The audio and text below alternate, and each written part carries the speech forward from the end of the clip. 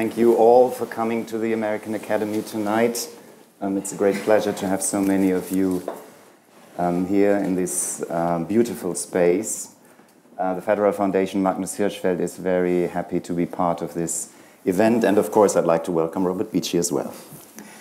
Um, what we're going to do is tonight, Mary told you about it, Robert will read some sections from the book, and after that, I will discuss with him some topics from the book. Um, and then um, you can ask your questions directly to Robert. And we're going to finish the evening by a last short reading, and you're invited to have some wine with us after the event. Just to introduce um, the evening, I would like to share with you a personal story, um, the connection between me um, and the book. Um, I started working for the Federal Foundation Magnus Hirschfeld in February 2015. And it was exactly one week uh, before I took up my employment that I um, literally happened to read um, a review of Robert's book in The New Yorker by Alex Ross, who was, as um, Carol Scherer pointed out to me himself, a fellow here at the American Academy one time. And um, as I had been working in a completely different field, um, you've heard that I've dealt with um, witnesses of the Holocaust or of National Socialist persecution before. Um, I thought that this book could very easily serve as a good introduction to my new work and that I should, it, um, I should read it immediately.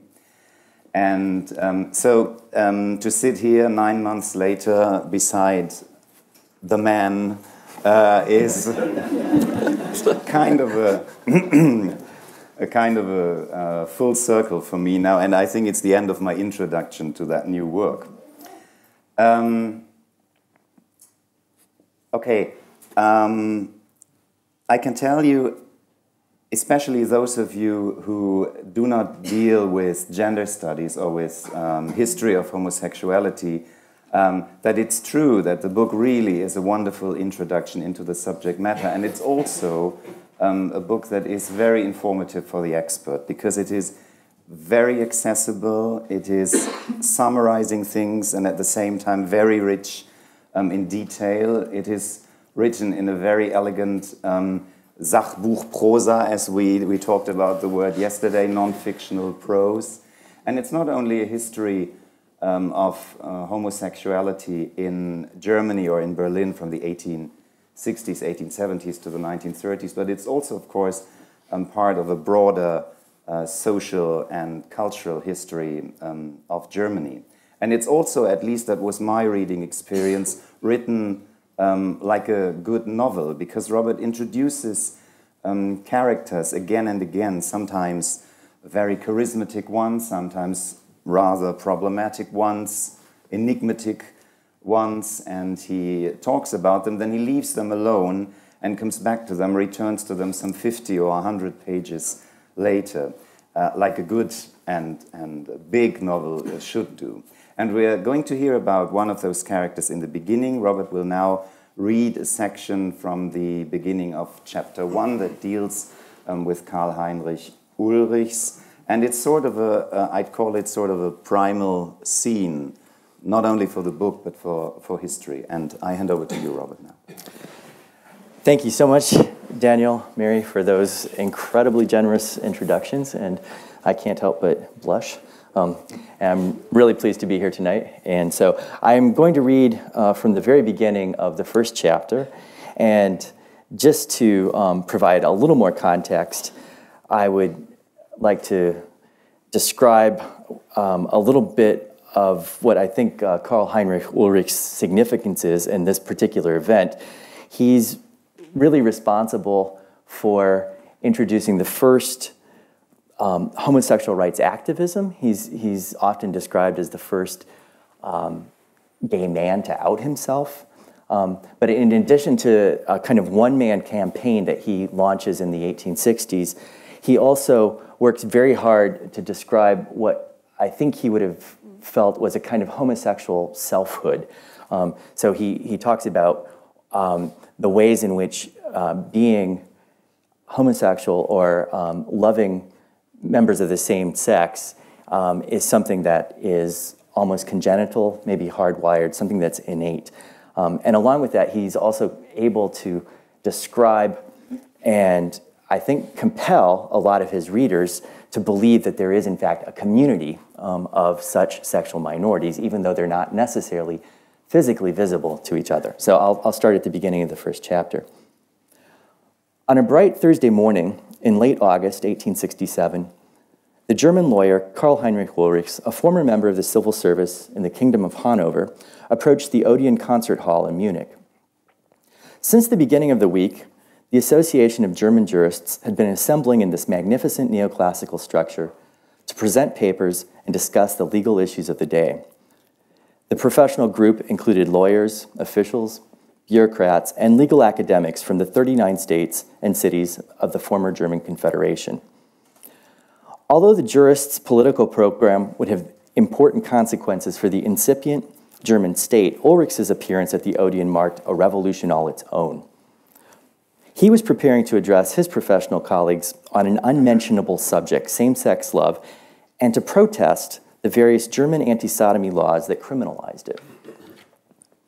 Ulrichs had celebrated his birthday the day before, and now, at the age of 42, he hoped to deliver a speech for which he arguably had spent most of his adulthood preparing. As a university student, he'd recognized that he was attracted to other men. This sexual peculiarity and rumors of his intimate affairs had forced him to resign the only professional position he had ever held as a government official. Finally, in an act of enormous courage, he disclosed his secret to his closest kin. Raised in a pious Christian family, whose extended members included numerous Lutheran clergy, Ulrich struggled for years with heart and intellect to make sense of his seemingly unacceptable feelings. Were they unnatural? Had he somehow caused them himself through actions of his own? He examined carefully his own motivations and desires. He secured legal and scientific um, publications on the topic. Following the tradition of the great Protestant reformer Martin Luther, Ulrichs countered prevailing beliefs and developed a theory of his own selfhood, though defined in sexual, not spiritual terms, forming the conviction that he must face down an established authority and counter centuries of prejudice. To that end, since 1864, Ulrichs had published pamphlets under a pseudonym arguing the case that sexual deviance was an endowment of nature and must be respected. But on that morning in August, crossing Munich's imposing Odeonsplatz, framed by government and cultural buildings, Ulrichs felt his heart palpitate almost audibly as he neared the Odeon Hall. As he would later recount, an inner voice whispered, There's still time to keep silent. Simply wave your request to speak, and then your heart can stop pounding. But Ulrichs also remembered those comrades who were anticipating his protest. Was I to answer their trust in me with cowardice? And he recalled a desperate acquaintance who'd committed suicide to escape criminal prosecution for sodomy and the public humiliation that would have followed. With breast beating, Ulrichs entered the building, mounted the speaker's platform, and began reading his text to more than 500 professional colleagues. Gentlemen, he intoned, my proposal is directed toward a revision of the current penal law to abolish the persecution of an innocent class of persons. It is at the same time, Ulrichs continued, a question of damming a continuing flood of suicides. The victims, he said, were those sexually drawn to members of their own sex. Expressions of outrage and scattered cries of stop began echoing through the chamber. Alarmed by the voluble hostility, Ulrichs offered to surrender the floor, but others in the audience urged him to continue, and he again took heart.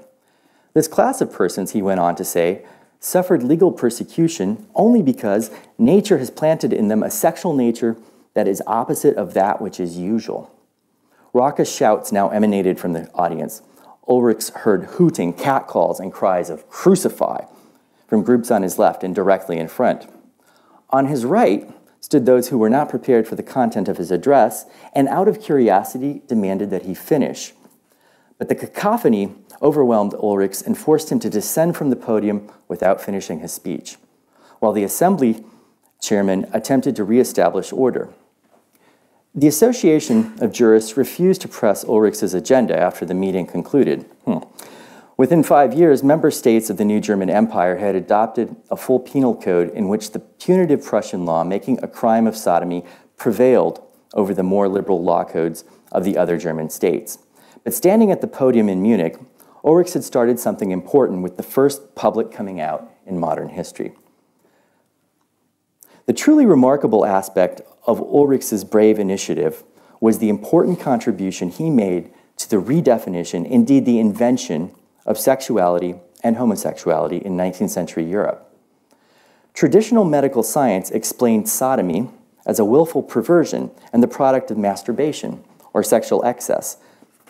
Sodomites were understood to be oversexed predators who had simply grown bored with women. The established science of sexual perversion viewed same sex erotic activity as that which it seemed to be and nothing more, an isolated genital act. It was possible to imagine, in fact, that almost anyone might succumb to the crime of sodomy, either through seduction or by willful decision, but ultimately as a result of moral weakness. Sexual desire was considered a fluid and malleable drive that might easily be warped and perverted. By 1900, however, a progressive school of German psychiatry had formed around the belief that same sex attraction might be congenital and somehow an integral feature of a small sexual minority. it became possible now to imagine that certain individuals were attracted innately to their own and not the opposite sex. Indeed, German speakers, both self identified same sex loving men and medical doctors, invented a new language of sexual orientation and identity that displaced the older understanding of perversion and moral failure invented terms such as Urning or Uranian, Ulrich's own coinage, or homosexual, first entered the German lexicon and later other European languages as well. Ulrich's pamphlet propaganda played a critical role in this development. His theories of an inborn Urning sexuality and character, coupled with the outspoken activism, helped not only to influence the incipient sciences of sexuality, but also to mobilize an imagined community of homosexuals. Concretely, Ulrich spearheaded a conceptual revolution that transformed erotic same sex love from an idea of deviant acts into a full blown sexual orientation with its own distinct quality and character.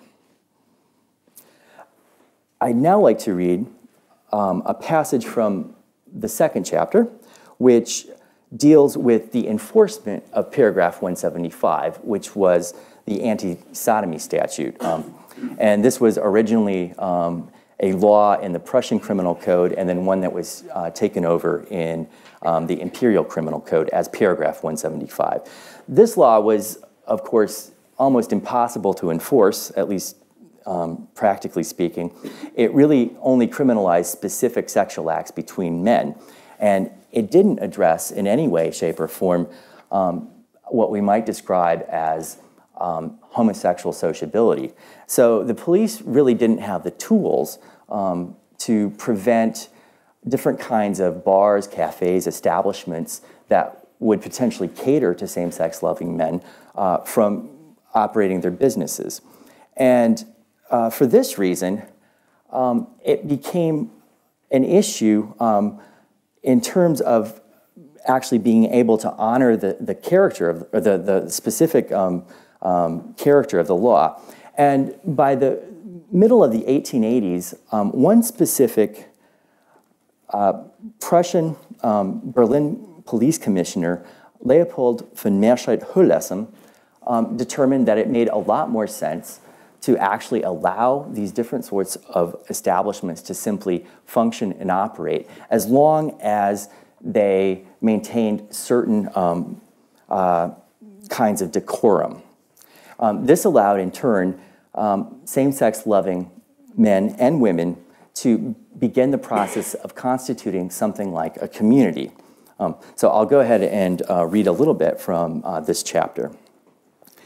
If we consider Hüllessem's approach more carefully, we can begin to appreciate how the Department of Homosexuals, founded by Hüllessem in 1885, contributed to the creation of Berlin's community of sexual minorities. Hüllessem knew and used the term homosexual, a neologism from 1869, as we've seen, that was just entering German psychiatric literature. This suggests that he had some familiarity with the most recent medical literature and that he might have adopted the view that homosexuality was inborn or congenital. In this sense, the Department of Homosexuals actually gave life to a theoretical construct, the theory of the inborn homosexual, by projecting it as a social and cultural identity and allowing it to develop within a network of bars and same sex entertainments. Hüllessem helped further to create this milieu by making it an object of study. He literally gave tours of the city's homosexual night spots and escorted visitors to same sex costume balls. Berlin came to serve as a kind of laboratory of sexuality, made available for investigation to a range of psychiatrists, sexologists, journalists, and writers. The experience of playwright August Strindberg at the Café National in February 1893 illustrates this brilliantly. Accompanying other friends who had been invited by a Berlin police inspector, presumably Hüllessem, Strindberg described his astonishment and disgust, always ref referring to himself in the third person as the author. And I quote now from Strindberg's account. It was the most horrible thing he had ever seen. In order that a better check might be kept on them, the perverts of the capital had been given permission to hold a fancy dress ball. When it opened, Everyone behaved ceremoniously, almost as if they were in a madhouse. Men danced with men, mournfully, with deadly seriousness. The one playing the lady's role might have the mustache of a cavalryman. He might be ugly with coarse masculine features and not even a trace of femininity. The police inspector and his guests had seated themselves at a table in the center of one end of the room, close to which all the couples had to pass. The inspector called them by their Christian names and summoned some of the most interesting among them to his table so that the author could study them. Apart from his visceral repulsion, Strindberg's strongest reaction was to the ball's openness and the official surveillance. The police inspector did not even disguise his presence and actually knew and greeted the participants by name. Simply allowing the growth of a homosexual culture contributed to the burgeoning science of sexology.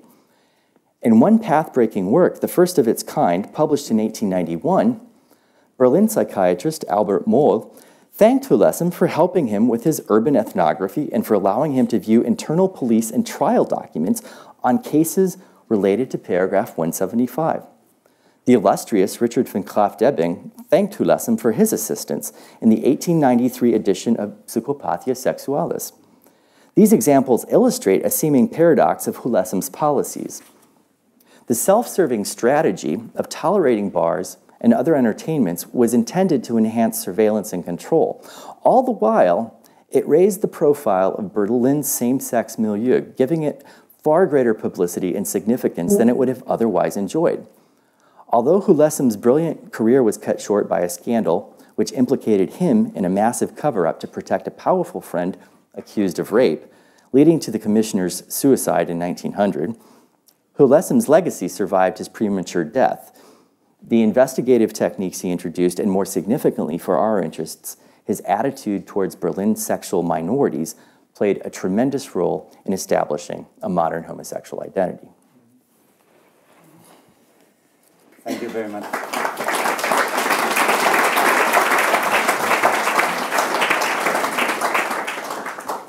Thank you very much, Robert.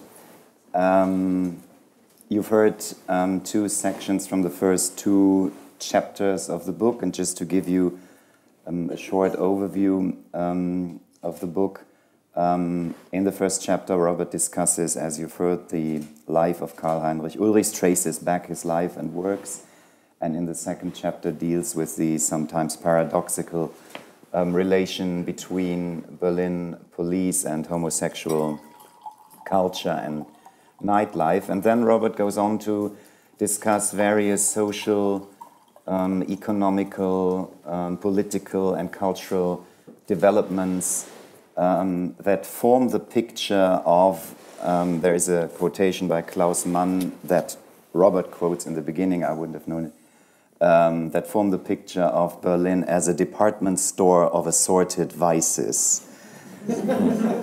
Um, it's a quotation by Klaus Mann. And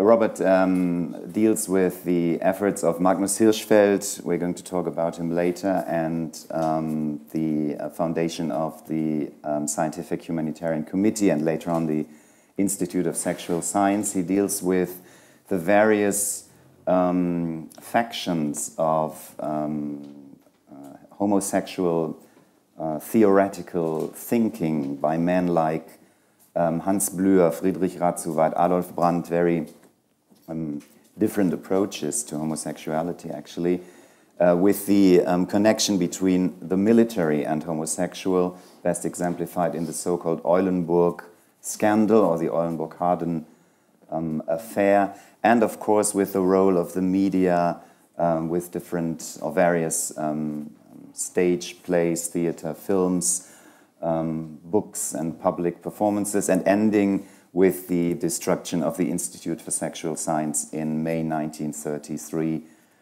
a month or just weeks after the Nazis took power. In fact, it was one of the first measures um, by the Nazis. But um, let's return to that first um, scene you just read, um, the um, speech by Karl Heinrich Ulrichs at the Odeon in Munich before the Association of German Jurists. Could you once again say what was the truly new and innovative aspect of that speech, aside from the fact that he publicly came out of the closet? Well, I wouldn't understate the significance of his um, public coming out. I mean, I think uh, the attempt to begin to create a kind of visibility was maybe um, the most important first step or initial step, and, and certainly an incredibly brave one. So there was no visibility, um, there was no definition of a sexual minority. And in that respect, it's incredibly significant. I think the speech also brought a lot of attention to his pamphlet publications, which he continued to produce. So there were, I think, a total of 12 mm-hmm. in the course of about 15 years. Um, they continued into the 1870s. And it brought him a, a degree of notoriety um, that also um, drew attention to the pamphlets themselves. And these pamphlets were joked about by many people, and um, even Karl Marx and Friedrich Engels had mm-hmm. um, uh, a correspondence about them at one point.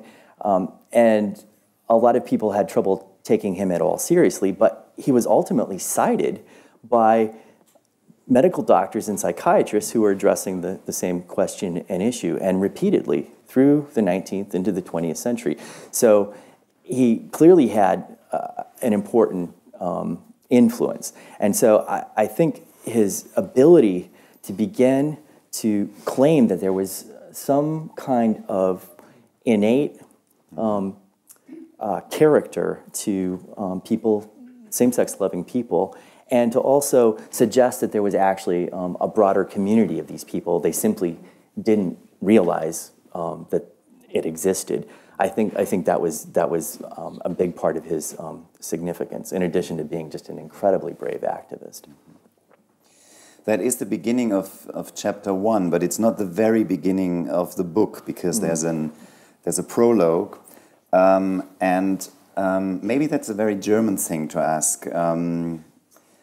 You know, when we start re- or when I started reading the book, to me in the beginning everything is doomed to failure in a way. We know why your book ends in 1933. Even before we start reading the first sentence, uh, we know what happens in the end. And so I thought you, you could have begun um, with the um, destruction of the Institute for Sexual Science. That, that could have been, well, it would be a, a cliched beginning in a way to start with the with the ending, but you could have um, begun with that. You do not. You do not start with that. You do not start with the Nazis. You do not start with politics or with science, but you start with the rather um, vivid description of a literally a walk through daytime and nighttime Berlin, encapsulated in two and a half pages. I think a walk that W.H. Auden and Christopher Isherwood took in the late 1920s, I guess um, and you um, describe, um, well, very flamboyant characters they meet on their way. Um, how did you come up with that, um, with that beginning of the book, with that beginning of the, of the prologue? And perhaps you can retell um, the story of, of the encounter between W.H. Auden and the woman on the bus or tram? Well, when I started this project, I guess one of uh, the big questions is in my mind was where this curious word "schwul" came from, and I um, also wondered whether or not it had been used very often, um, say before the 1970s, and um, there are actually a lot of um, really fantastic um, um, Berlin historians who've documented many elements of what, what I write about in this book. And um, it seems pretty clear that um, the word schwul is somehow related to schwül, and um, that seems to have some relationship to this um, idea or this, this expression, warm brother or warmer Bruder. So that's, that's at least one theory. But what really astonished me, I was looking at a short diary that W.H. Auden kept about the time he spent in Berlin. He was writing it as he was living here. And at one point, as you um, alluded to, he describes um, a scene where a woman approaches him and he thinks she's flirting with him on a tram. And in his mind, he rehearses what he would say to her if he only could. And that was, um, uh, You're flirting with the wrong guy. Ich bin schwul. Um, and when I, when I first read that, it jumped out at me because I'd been looking for this word everywhere.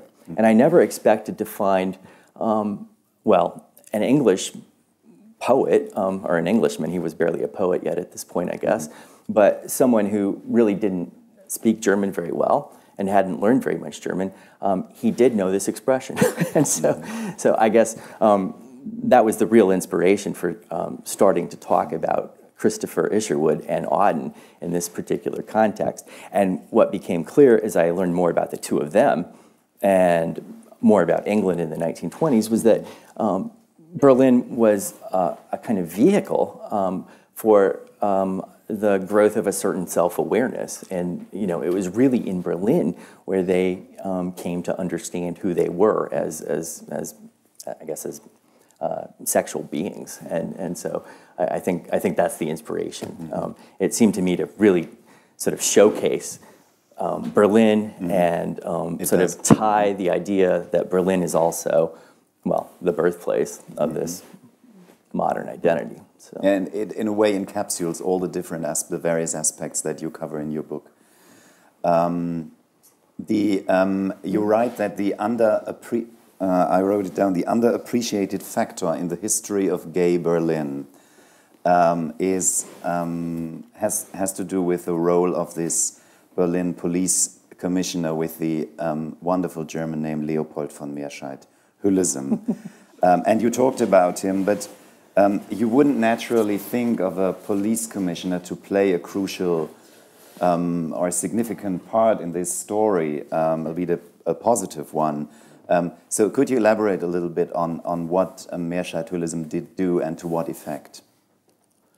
Well, simply deciding that it was easier or more practical to tolerate public accommodations that appealed to same-sex loving people um, than to try to close them down. Mm-hmm. Um, that had the obvious effect of allowing this milieu to develop and sort of become increasingly entrenched. And so, and what this meant, practically speaking, was that um, men and women could seek out the company, um, the sociability of other like-minded men and women without fear of arrest. And this, this, was, this was a significant issue. Um, uh, so it, it made it possible to actually um, have something like um, a gay life um, and a certain sort of social life. So in that respect, it's just absolutely um, central. I mean, this, this policy that he introduced and that was then followed even after his death in 1900.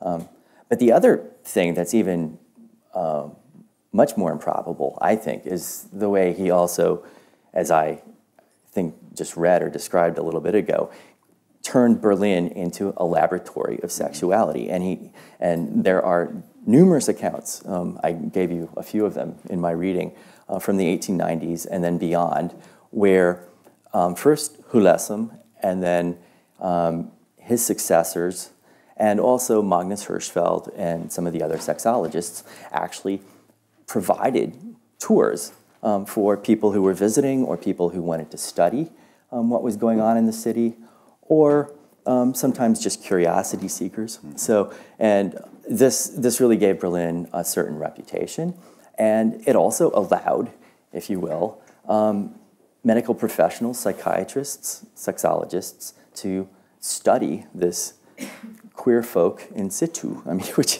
which was something that wasn't possible practically anywhere else. Mm-hmm. So, and in that regard, I think I think um, this policy was really uh, influential, and, and in so many ways, um, its effect was counterintuitive and un, unanticipated. So.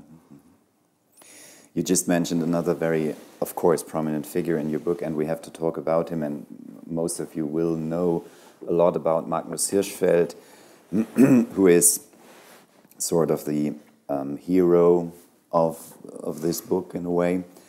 Um, a German Jewish doctor born in Kolberg and um, the founder of the first homosexual rights movement, the Scientific Humanitarian Committee. Um, how would you describe the impact of, uh, of Hirschfeld? What were his main achievements and challenges?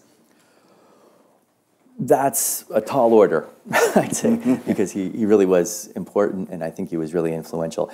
And I should also uh, preface any, any of my comments by saying that I think there are lots of people, um, maybe in this audience as well, who know um, a great deal about Hirschfeld and, and, probably more than I do. So there's, there's a Magnus Hirschfeld um, Gesellschaft that was founded in the early uh, 1980s, uh, still exists, and um, the members have done amazing um, uh, recovery and work, and they've created um, a small library and archive. And there's also, of course, the Schwules Museum um, here in Berlin, which is also a fantastic and amazing institution. So, um, but if I would highlight just a, a couple of Hirschfeld's um, really, really important contributions, and maybe ones that um, have gone to some extent unrecognized, I, I, would, I would focus on this interesting theoretical distinction that he made um, starting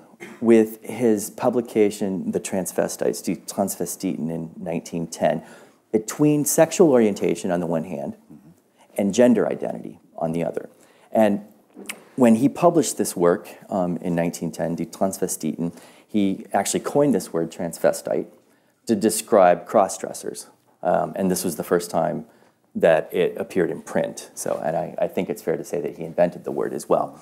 Um, but some of the things he claimed in this work um, included um, observations that for example, um, not all male cross dressers were homosexual.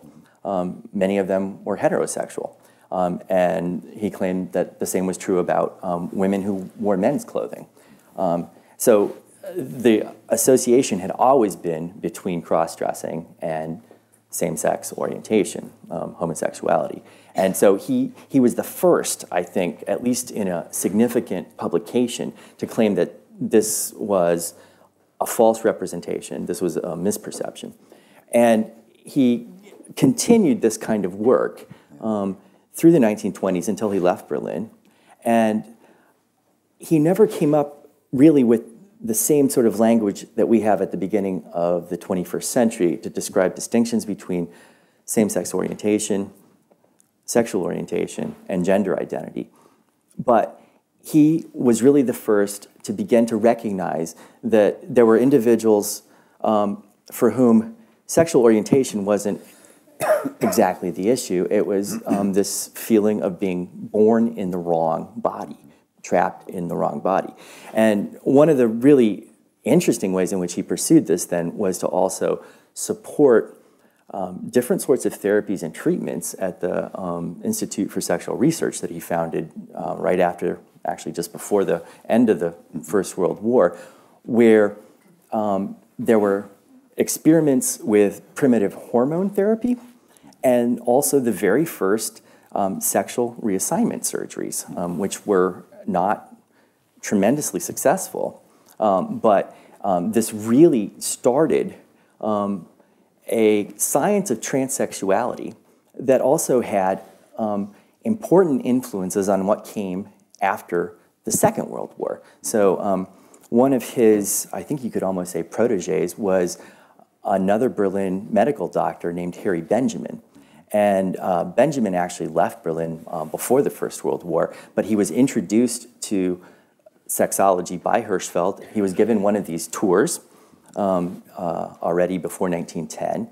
And after 1945, in the US, he was responsible for pioneering um, this science of transsexualism. And so he also created the first uh, protocol for individuals who wanted to transition from one sex to the other. So, but again, if I, if I can just um, sort of recap what I think is really significant here is the way in which Hirschfeld was able to begin to sort of um, see a difference between orientation on the one hand and gender identity on the other. And I think, I think um, this is something that people are just beginning to sort of um, um, appreciate and understand. And, and he was really he was really the absolute pioneer in that regard.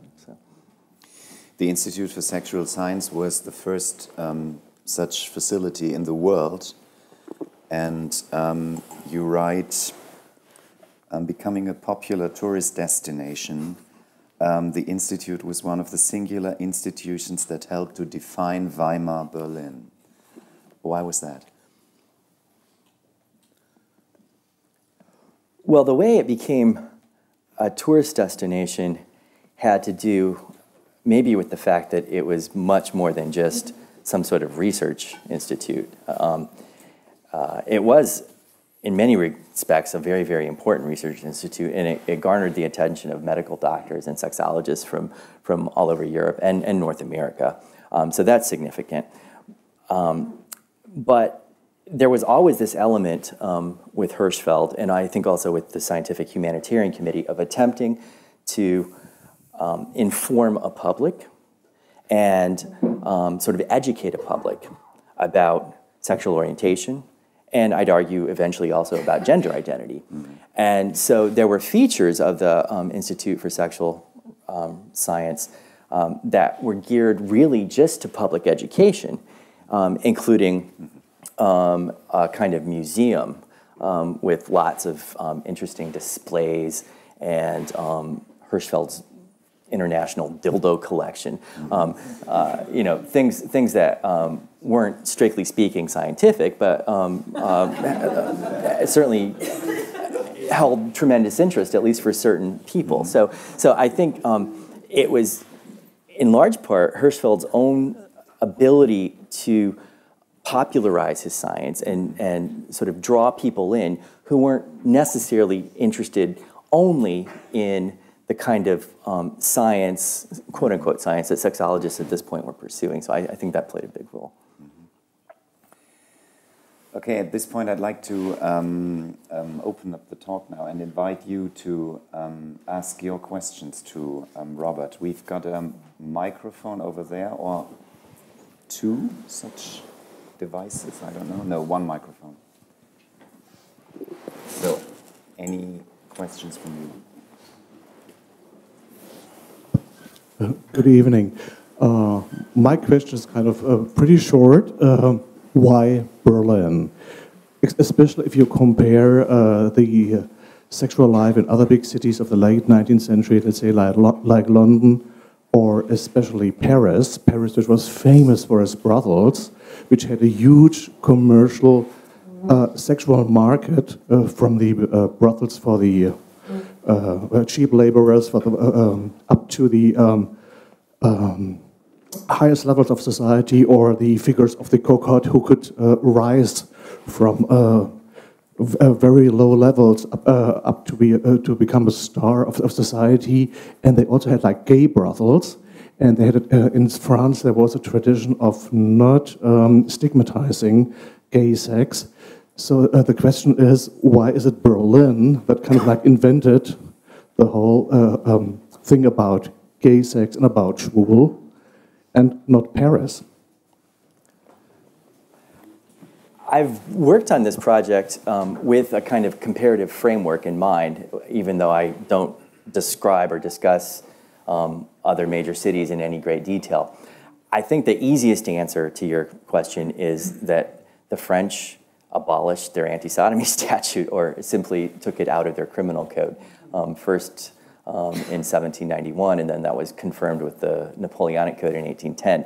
Um, so the absence of a law meant that there wasn't something that needed to be studied. Yeah. It didn't matter. No one was breaking a law. Um, and it also meant that there was nothing to protest against. So there wasn't the same um, impulse for some sort of activism. And it's, it's really both the study and the activism together. That's, that's really the core, I think, of, of my argument um, that promotes or is responsible for creating, for inventing homosexuality. And um, I think that's my answer.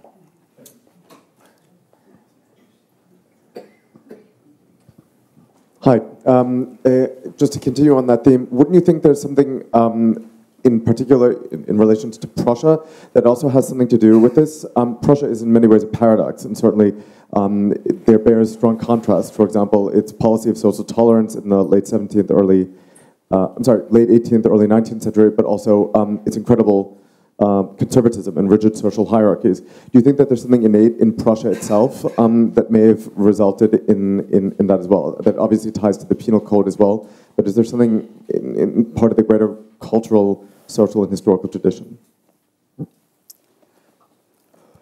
Well, there's certainly uh, the, there's certainly a connection um, between a military culture and um, homosexuality, um, and I think ultimately there's often a homoerotic element to a lot of military cultures. So I guess if I were going to single out um, a feature of Prussian history that's maybe significant in this regard, it would be it would be um, uh, this emphasis on, um, or maybe what we could describe, what historians might describe as this militarism, um, reaching all the way back even to the 17th century, further back than just Friedrich the Great. So um, um, I think I think that's probably maybe the most significant element of Prussian culture that, that contributes to this. Any further questions here in the front? Hi, thanks. I'm wondering if you could say a little bit about the role of capitalism in the emergence of this identity. And well, because I'm thinking about, I mean, homosexuality, the, the practice itself has always existed but the identity and the label is a certain moment in history. So scholars in the United States have linked it to capitalism. I'm wondering if you could take that kind of analysis and apply it to Berlin.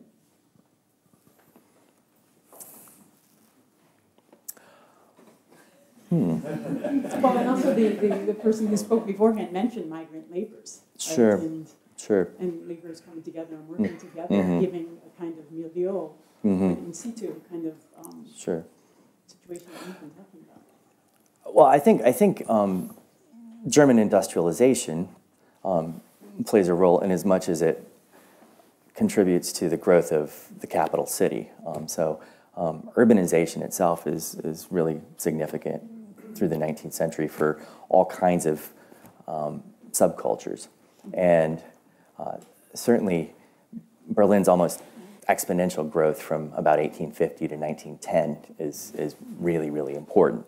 Um, so um, I'm not sure if that's the exact same thing as capitalism. Um, um in a later period, uh, I would say that uh, the identity itself is promoted by capitalists, um, uh, certainly through the 1920s, um, especially different publishers, people who uh, work as people who, who own bars or, or different sorts of cafes.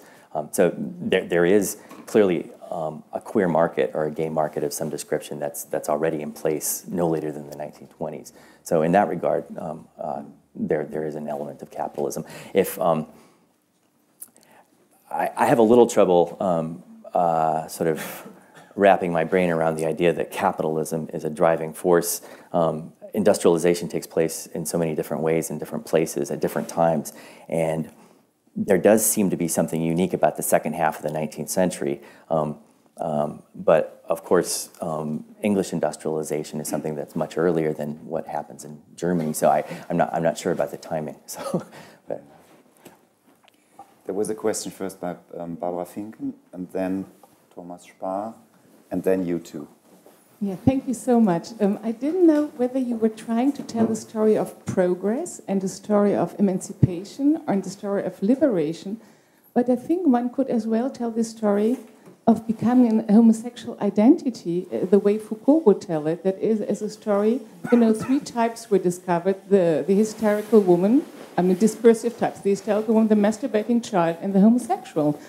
And I think that the, the story you're telling might as well be told as quite a sad story, uh, as a story where identity, as a kind of alienation, as a kind of uh, uh, Verdinglichung, Entfremdung, uh, is stamped upon something that in France, for example, uh, from Balzac over Proust to Flaubert, uh, just to quote a few, uh, wasn't pressed with this kind of military sadomaso, police, science, into what you call an identity. And I think I, I really see a problem with to, to tell this story as a story of progress, emancipation, and success.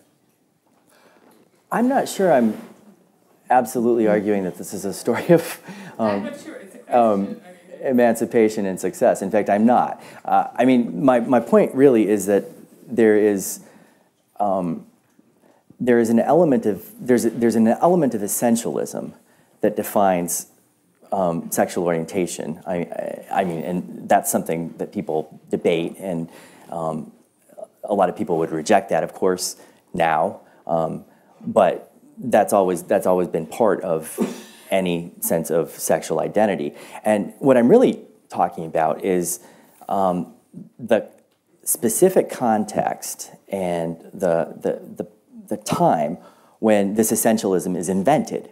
So, uh, I mean, to the extent that this is a story of, I mean, it is, a, it, it is about um, attempts to reform the law because because and, and I have to tell that story because that's that's part of the explanation for the invention of the essentialism. But I, I guess um, I, maybe I should almost apologize if this sounds too Whiggish, but and that, that really wasn't my intention exactly. I, I'm also at no point taking an explicit position on essentialism. So um, I'm, my real point here, and maybe maybe maybe it's maybe my narrative style sort of belies this, but my real point is about the invention of essentialism, and mm-hmm. so it's it's about historicizing this moment, and so I, I don't disagree with Foucault in in most respects. I just add specificity, uh, which which is lacking, I think, from his account.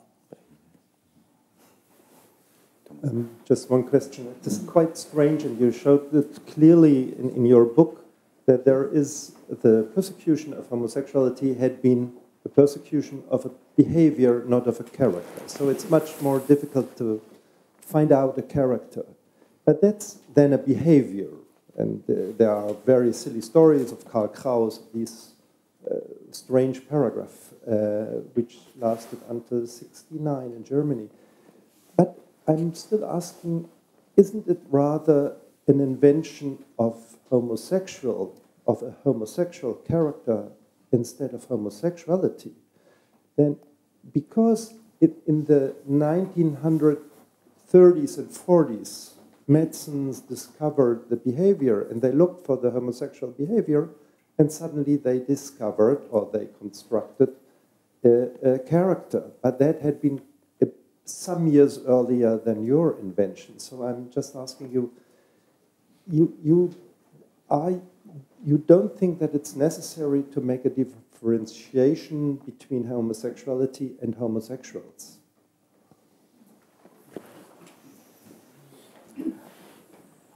One more time. Uh, you don't. You don't think. You don't think it makes sense to differentiate between homosexuality and. You you you are showing very clearly in your book that the persecution was based on behavior, mm-hmm. not on a character.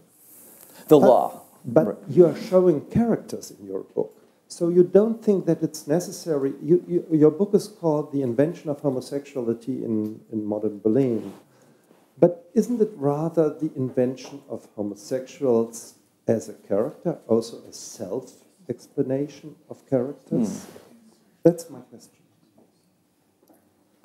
Wow. Um, I'm not quite sure how to answer that. I mean, that sounds that sounds like semantics to me. I'm not sure if I. um, um, the character, it's it's very difficult uh, to, to discover behavior, and there had been huge efforts, especially in France and also in Austria in the 19th century, to describe the behavior and the marks of homosexuality as a person. And suddenly they were looking for behaviors, and it came out a character. But we have to make that the homosexuality existed forever. This is not an oh, invention. Oh, I see. But the homosexual oh. as a character, I would say, and then I would oh, I date him yeah. earlier. Oh, okay. You know, that's it's only okay. it, it, it's a question of right. Well, date. yeah. Uh, I guess um, I'm I'm relying in part on uh, Foucault's argument from um, the first volume of his series on the history of sexuality, an introduction, where he says that with the invention of the word we have, for the first time, a new species. And one of the things that, of course, inspired me was to focus on the fact that the first time the word was used was in a German language pamphlet um, protesting the, the Prussian anti sodomy statute. So um, I would say, I mean, the way I'm using the word homosexuality, I'm, I'm using it um, as um, a category of not behavior. I, I, am talking not about, I am talking about character when I use the word homosexuality. Um, and I wouldn't use the word homosexuality to describe behaviors. Um, I, I, would use the other uh, sort of historic language that's used to describe these behaviors sodomy, um, maybe pederasty, buggery. I mean, there, you know, there, there a whole, there a whole, there's, there's a huge vocabulary for that. So, so I guess um, um, I, I, don't, I don't quite agree. If, I mean, if you're arguing that homosexuality has always existed, well, the point, the point of the book is that, well, no, it hasn't really, at least not as an identity. And so I'm, I mean, I, I would distinguish between homosexuality and sodomite, or homosexual and sodomite, but I wouldn't distinguish between homosexuality and homosexual which is, which is, I think, the distinction you're asking me to make. So I, am not sure if that answers the question. There were two questions in the second um, row here, one over there and one over there. I'd like to go back to the comparative question, which was asked at the very beginning. Um, I think the second question. Uh, the, the fact that you, as a German historian, should decide to write a book on gay Berlin is, I think, a perfectly natural choice, and I don't think you have to defend that in a sense. But since you self consciously chose a title which repeats the title of an earlier book called Gay New York, I, uh, I wonder if you might want to comment. First, I have a two-part question. First part is comment on what uh, differences there really were or similarities uh, between Berlin and New York, just one or two specific ones. Uh, and then I'd like to go back to the keeps coming up the French example. Because since you decided as one of your two passages to read at the beginning, to bring up this passage about how the absence of police repression encouraged the creation of a community of homosexuals in, in Berlin. Uh, why is that pioneering when the absence of oppressive community in France already existed? Well, the comparison between gay Berlin and gay New York um, is, I think, really important, and it's not a, it's, it's, it's a contrast actually. I mean, so uh, George Chauncey's argument in Gay New York is that there really wasn't any kind of essentialism, um, or at least um, there wasn't the notion of same-sex orientation per se. Um, what was significant was gender identity, and so it didn't it didn't matter who you did; it mattered that you were doing if you can follow that. So, um, um, and this meant that men who had sex with other men, as long as they um, remained uh, masculine in their role, in their sexual role, they never jeopardized their masculinity. And so um, the real issue then, um, I think, as George Chauncey argues, and this, this, is, this is a pretty sort of broad generalization, but I think, I think if he were sitting here, he'd agree with me. Um, the real issue is one of gender identity and, and your, your sort of place in the sexual act or your role in the sexual act. And so, um, and that doesn't shift, as he argues, until sometime after um, maybe 1940. or you know maybe after the Second World War in New York, in the U.S. And so up until that point, you have you have a completely different set of categories, and it's not about sexual orientation. Um, there isn't a sense of essentialism. It's really about um, gender identity. Are you a man? Are you a woman? Um, so, and that's actually that was a really important point of departure for me because I, I the more I learned about, I mean, it, it was it was a sharp contrast to Foucault's argument, um, and it also seemed to um, it didn't seem to conform to what I thought, or it, it contradicted what I thought was going on maybe in Berlin. So and I, I was convinced by the time I published the book that I was right about Berlin anyway. So, so, um, um, so that, I, that, that's, that's the distinction I think between New York and Berlin. And, and there, there are lots of explanations. I think I, I don't think I don't think um, gay New York is wrong. I, I just think it's it's different. Um, so, um, uh, and then the second question, I, I guess I, I don't I don't I don't mean to argue that. Um, I mean, I try to qualify this, you know, Berlin policing policy by um, uh, describing it as, um, you know, self-interested, pragmatic.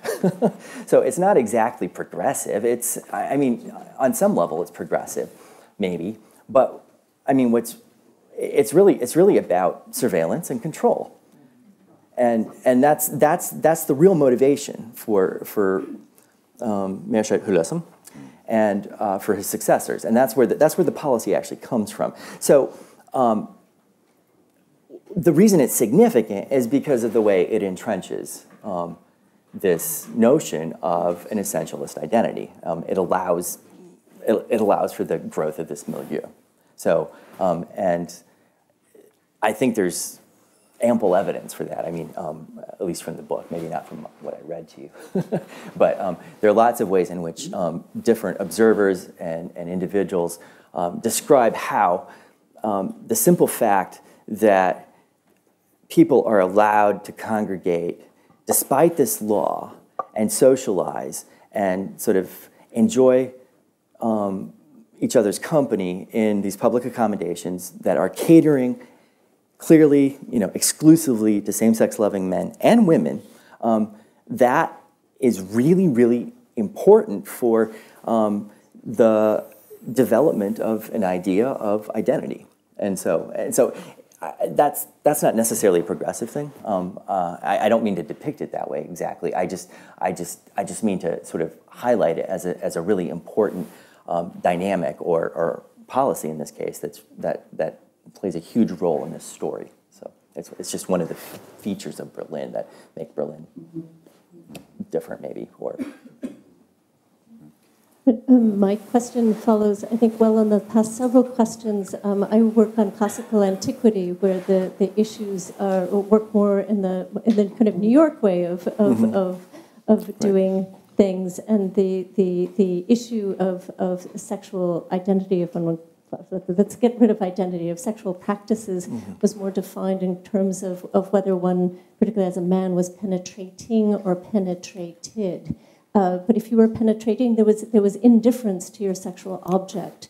So i'm wondering you know if if in this invention of this category of homosexuality the idea of bisexuality is either invented or somehow elided it's, I mean, is no. bisexuality at all a category within these? You know, it something is. that it these, is. these sexologists you know, it, it is. It is absolutely, and and and the word is also then used um, actually um, in another publication by um, the same man who publishes the anonymous who publishes the pamphlets anonymously that introduce the word homosexuality. So, so bisexuality is, is also a category, and it, it emerges also in the literature and the language of the sexologists. So, um, no, it's not. It's not elided. So, But is it an identity, or what, how does it play in It's- comparison to the identity of, of the essentialism of homosexuality as a category? um, well, probably the bisexuals of Imperial Berlin um, suffered the same invisibility that bisexuals suffer today. I mean, sorry, that was that was glib. Um, I, I mean, I, there there wouldn't have been the same sort of um, milieu. There wouldn't have been there wouldn't have been the same uh, subculture uh, entrenched in the same way. Um, um, but certainly, it was a category, and um, I I would imagine there were people who who um, sort of embraced it. I, um, there weren't there weren't you know bars or you know there weren't establishments that were um, you know designated for bisexuals exactly or understood to cater to bisexuals. Um, there there is there is another sort of um, identity um, which we might attach the label bisexuality to, and that's that's the um, sort of uh, counter um, point to Hirschfeld's essentialism, and, and that's that's the that's the um, identity of the masculinists, um, and and this is the group that um, emerged already at the very beginning of the 19th century, um, and they were responding in part to the Scientific Humanitarian Committee in Hirschfeld, and um, these were people like Adolf Brand and Benedict Friedlander, and uh, also eventually Hans Blüher, who um, actually looked to this Greek model, and in a, a lot of cases, um, they also um, married themselves. Sometimes they even had children and families, but then they also um, very often had male lovers, and um, they wouldn't have they wouldn't have liked the label bisexual um, because that was a that was a, a label that came from um, the sexologists, including Hirschfeld. Um, so, but certainly bisexuality was also a part of this discourse by the end of the 19th century. So they had no label, these people who did this? I mean, They went under, I mean, there- there's. No, no, they well, no, they they had uh, they they called themselves masculinists, and they initially they really defined themselves against the Scientific Humanitarian Committee and against Hirschfeld. So, um, and they, I mean, they were generally right wing. I mean, they, they were they, they were often ultra nationalists. They were they were misogynists. They were they were um, usually anti-Semitic, um, certainly by the 1920s. Um, so, uh, but they they disliked they. I mean, if you um, if you this this this.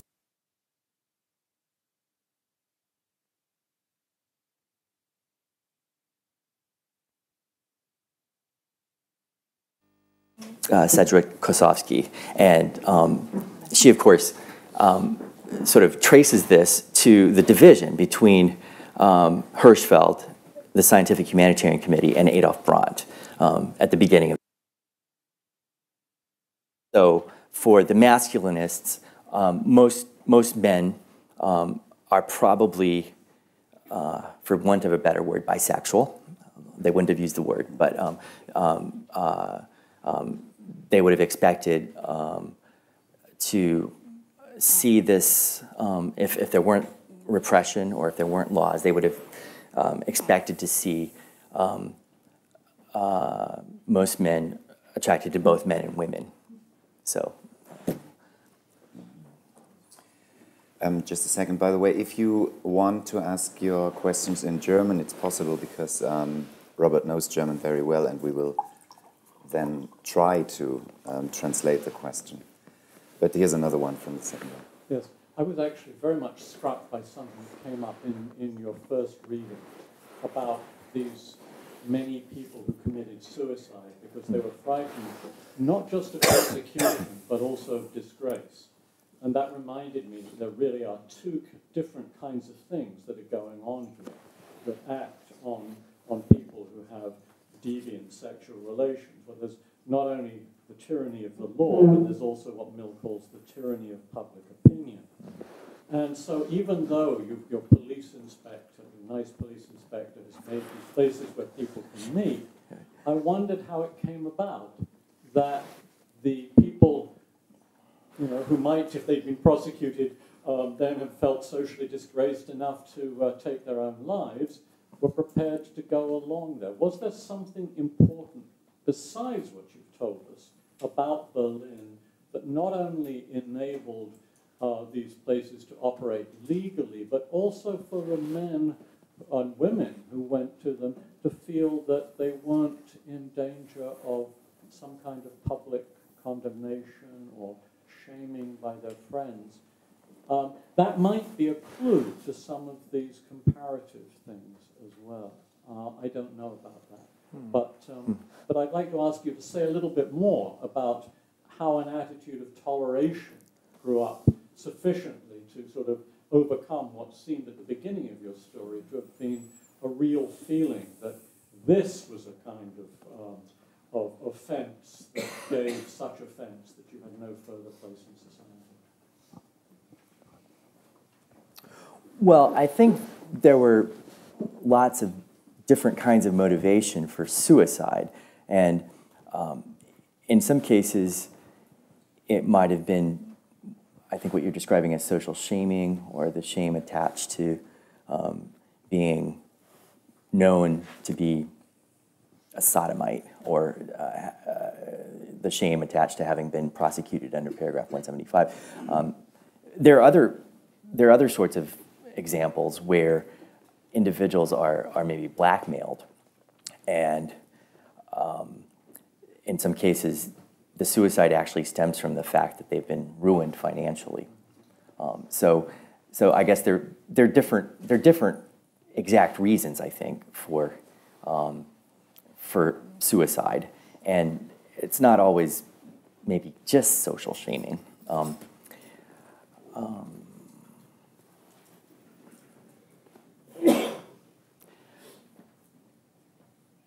think of somebody like Thomas Mann. Mm-hmm. Thomas Mann mm-hmm. uh, would probably have been delighted that the, the law was off, but he would have he would have definitely hesitated, unlike Klaus, to go mm. to the to go to the club. And I wonder how they, these places became acceptable for men and women. Well, I'm not sure. I'm not sure they ever became acceptable exactly. I mean, I, that's not that's not that's not really um, necessarily part of the story. Um, what, what's important is that one could go to one of these venues and not fear um, being arrested simply for being there. Um, so that's, that's the real point. Uh, it doesn't mean that people would announce that this is what they did in their free time. um, and I, I don't, I mean, I guess they're, they're different sorts of visibility. Um, I don't think there would have been um, a lot of comfort um, before 1914 in sort of revealing that you um, are a same sex loving man or woman. Um, that's not something very many people would have felt comfortable disclosing. Um, it might have been different by the 1920s for people like Klaus Mann. So I'm not sure either that a comparison, say, between Berlin and Paris or Berlin and London would show us anything different than this.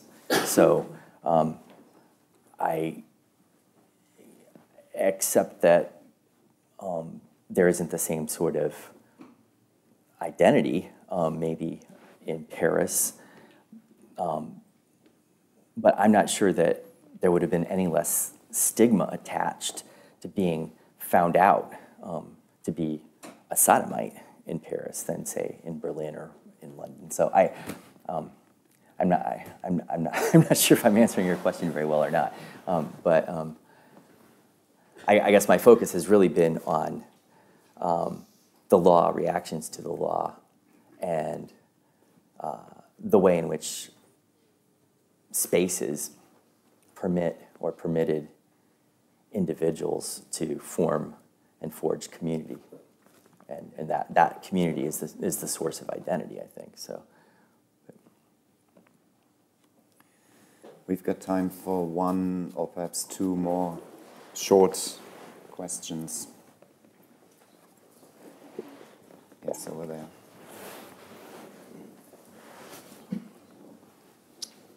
Hello.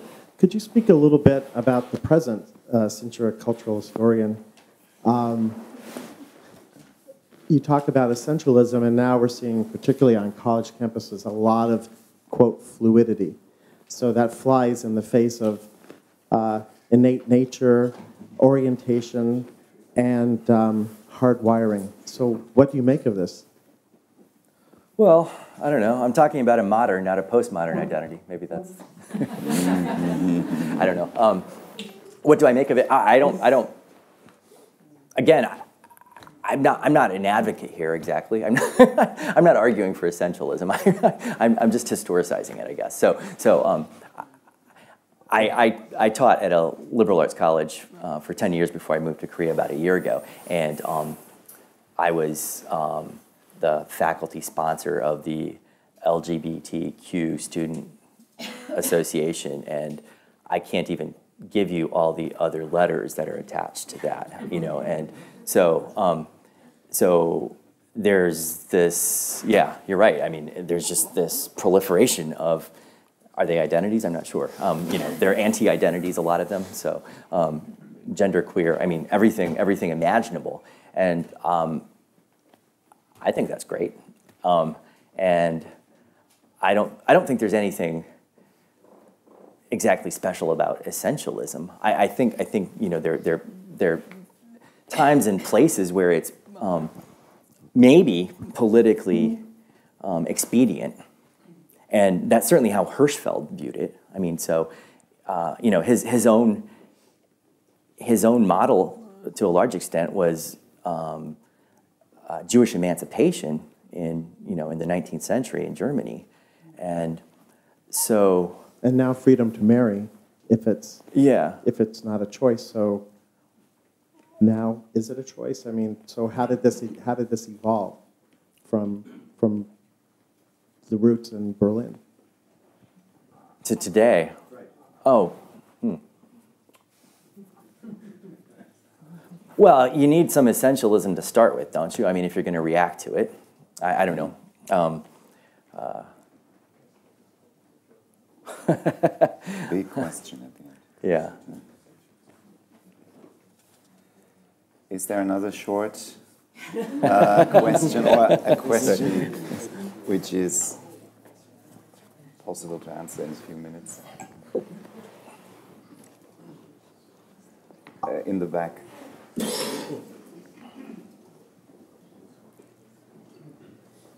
Yes, thank you very much.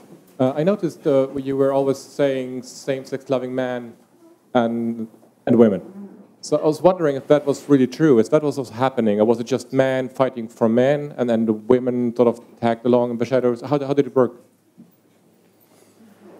Did you get it? Yeah. Uh, sort of the difference, um, if, if, there, if there were actually women involved in this um, exactly. story that I... Visibly. That I mean, but, oh, you've all, uh, uh, uh those names of men fighting for men's right, and you always said same loving men and women. And women, yeah, right. I know. Um, it, yeah, it sounds like an afterthought. And um, first of all, the book is limited, and um, so I, I don't um, write very much at all about women, and um, I don't. I know something about that story too. Um, there's another book that was just published a few months before mine that deals with exactly that question and the same time frame by a great American historian named Marti Lybeck. so, and I can re recommend it. Um, in terms of the invention of this essentialism, it is applied equally to same-sex loving women, um, um, certainly by the sexologists. The sexologists, though, as you point out, are all men or mostly men. And um, there's also this peculiarity in Germany um, that the law never criminalizes, even under the Nazis, um, um, sex acts between women.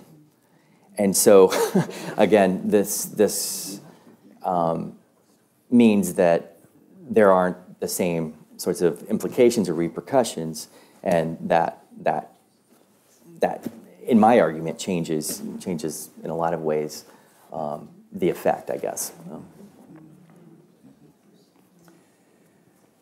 So um, I'd like to thank you all for participating in this um, discussion and asking your questions. Um, Robert will read another passage from um, the book at the ending. Um, but before that, I'd uh, like to thank the American Academy for having us and organizing the event, um, the Siedler Verlag for publishing the book, and, um, and you all for coming um, tonight and being a part of this event. And of course, thank you very much to you, Robert, for coming to Berlin and for writing the book in the first place. And um, I wish you all a very nice evening and a peaceful way back home. Thank you. Now it's you. Okay.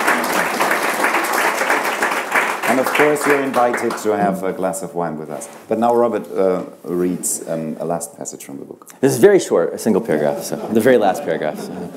We're on time. Yeah, are we? Okay, that's good. Germans are still in the process of recovering their own history. This task is complicated tremendously by the catastrophic destruction of the Nazi era, which abolished institutions, disrupted and scattered networks of friends and activists, and eliminated countless sources. Even those who remained and survived dictatorship and war were compelled to destroy everything letters, journals, photo albums that might incriminate them as homosexual. The supreme irony, perhaps, is that the gay pride parades held every summer since the 1970s in Berlin and other major German cities are referred to colloquially as CSD, CSD, or Christopher Street Day, an allusion to the 1969 riots at the Stonewall Inn, the putative birthplace of the modern homosexual rights movement. Thank you.